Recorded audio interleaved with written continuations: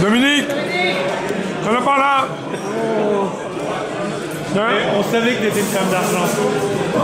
Merci.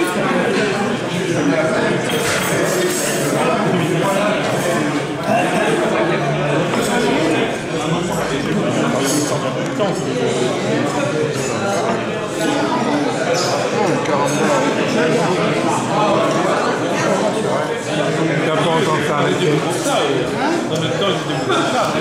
Les 40 bars.